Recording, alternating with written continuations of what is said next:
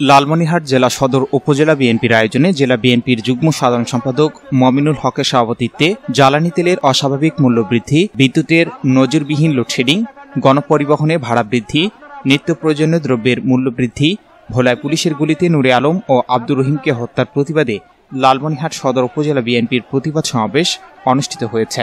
এতে প্রধান অতিথি হিসেবে উপস্থিত ছিলেন বিএনপি জাতীয় নির্বাহী কমিটির সাংগঠনিক সম্পাদক অধ্যক্ষ আসাদুল হাবিবদুলু বিশেষ অতিথি হিসেবে উপস্থিত ছিলেন জেলা বিএনপির সাধারণ সম্পাদক হাফিজুর রহমান বাবলা, পৌর বিএনপি সভাপতি আফজাল হোসেন সহ আরও অনেকে। পররাষ্ট্রমন্ত্রী শপথ নিয়ে সে বলল যে ভারতের সরকারকে আমি অনুরোধ করেছি। এই কথা যখন গণমাধ্যমে প্রচার হয়ে গেল, তখন কি করলেন সব মন্ত্রী, সব আওয়ামী লীগের নেতারা সমস্তরে বললেন যে পররাষ্ট্রমন্ত্রী আওয়ামী লীগের কেউ নয়। যে ডাকাতরা ডাকাতি করতে যায়, পিছনে যদি হঠাৎ কেউ ধরা পড়ে, বাকি ডাকাতগুলো ওটা আমাদের দলে ছিল না। অবস্থা হয়েছে সরকারের এরকম।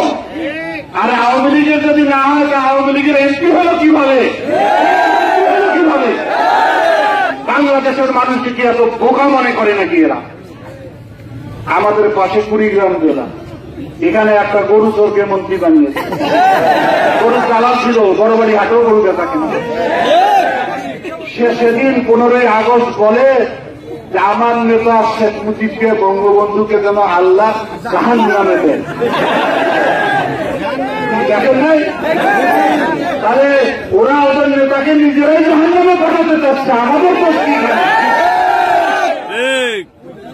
প্রত্যেকটা মন্ত্রী এখন এই ধরনের বক্তব্য দিচ্ছে।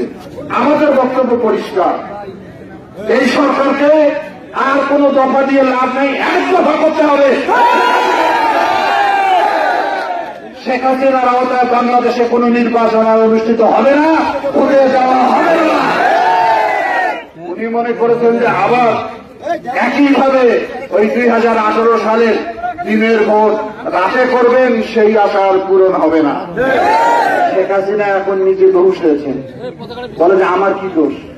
আমার নামাইতে চান কেন? বলেন তো, চোরকে যখন জিজ্ঞাসা করবেন যে তুই কাজ চুরি করছিস নাকি, কোন চোর কি স্বীকার করবে? কখন স্বীকার করে? তখন দেড় হাত লাঠি বের হয়। এই শেখ হাসিনা সরকারের বিরুদ্ধে লাঠি তৈরি করতে হবে। তারপর স্বীকার করবে। এই যে কয়েকদিন আগে বরগুনা ছাত্রলীগের দুই গ্রুপে মারামারি। থামার জন্য প্লাস্টিকের লাঠি দিয়ে পুলিশ মারছে কয়েক। আইন শৃঙ্খলা রক্ষা করার জন্য। সেই জন্য ওখানকার এডিশনাল এসপি মহারমকে তাৎক্ষণিক বদলি করে দেওয়া। ভালো।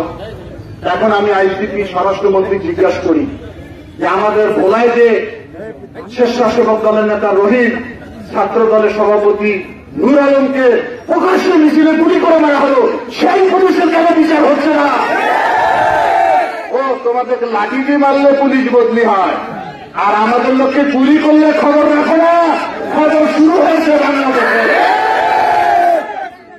প্রশাসনকে বলতে চাই, সরকারে অনেক গোয়েন্দা আছেন, বক্তব্য রেকর্ড করছেন। আপনাদের একে জানান। বলতে বলতে তো আপনারাও জননেত্রী বলেন? কোনদিন শুনি নাই আমি। দেশের মাননীয় প্রধানমন্ত্রী বলবেন, আপনাদের তো উনি নেত্রী না। উনি প্রধানমন্ত্রী, আওয়ামী লীগের নেত্রী। পাগল হয়ে গেছেন। অনেক কাজ করেছেন, কোন কাজ চুরি করেছেন, সরকারকে রক্ষা করেছেন। এখন দোহাই লাগে, একটু ক্ষান্ত হন। বাংলাদেশের মানুষের যে নাবিশ্বাস তুলেছে, এই সরকার বাংলাদেশের মানুষকে নিয়ে পরিহাস করে। যে বাংলাদেশের মানুষের নাকি আয় ইনকাম বেড়েছে। আর আয় ইনকাম বেড়েছে কার? আওয়ামী লীগের নেতাদের, সাধারণ মানুষের কি আয় বেড়েছে? সেদিকে খেয়াল রাখে আর বলে যে আমাদের মিছিলের সামনে কোনদিন কথা নেওয়ার চেষ্টা করবেন না। আমি সকল নেতা কর্মীদেরকে বলতে চাই এই খুনি জালেন ভোট চোর সরকারকে যদি গদি থেকে নামাতে হয় তাহলে রাজপথ দখলে রাখতে হবে।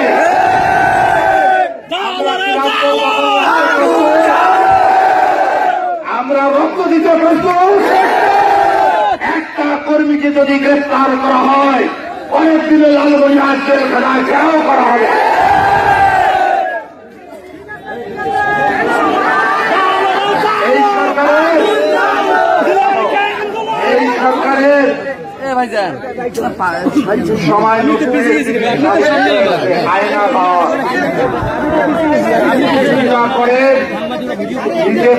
আয়না করে মানুষকে কীভাবে নির্যাতন করা হচ্ছে সরকার সেই সম্পর্কে কোনো বক্তব্য দিচ্ছে না আমরা সরকারের পরিষ্কার বক্তব্য চাই।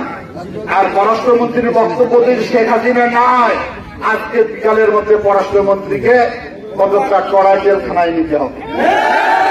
আর তা না হলে আমরা ধরে নিব, এটা শেখ হাসিনার কথা ছাড়া সে কোনোদিন ভারতে এই কথা বলতে পারে না।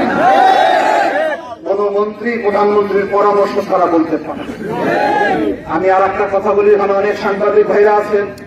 গত কয়েকদিন আগে দেখেন আওয়ামী লীগের লোকরা কীভাবে মারবন্দি হয়ে আমার প্রিয় সাংবাদিক ভাইরা পঞ্চগড়ামে গিয়েছিল খবর সংগ্রহ করতে। তাকে কীভাবে লাঠিপেটা করে রক্তাক্ত করা হয়েছে? আর আওয়ামী লীগের নেতা গিয়ে সহানুভূতি জানাচ্ছে আবার মামলা করছে। অর্থাৎ সর্বহায়া দংশন করে এরাও যাতায়াত হবে সাংবাদিক ভাইদেরকে বলে এই ঘটনার জন্য আমরা নিন্দা জানিয়েছি। আজকের এই বিশাল সমাবেশ থেকে প্রতিবাদ জানাচ্ছি। এদের ব্যাপারে আপনারা সজাগ থাকবেন। আমি মনে করেছিলাম যে আপনারা ওই কর্মসূচি দিবেন। যতক্ষণ বিচার হবে না, ততক্ষণ পর্যন্ত আওয়ামী লীগের সকল খবর প্রচার থেকে আপনারা বিরত প্রিয় ভাইয়ের আমার, আমরা এখনই মিছিল শুরু করব প্রচণ্ড গরম, হাজার হাজার লোক উপস্থিত রয়েছেন। আমি প্রথমে বলি সব সব সামনে থাকবে মহিলা দল। তারপরে থাকব আমার সহ বিএনপি, তারপর থেকে মৎস্যজীবী দল, তারপরে কৃষক দল, তারপরে শ্রমিক দল তারপর ওলামা দল ক্রীড়া পরিষদ ছাত্র দল স্বেচ্ছাসেবক সর্বশেষে যুব দল।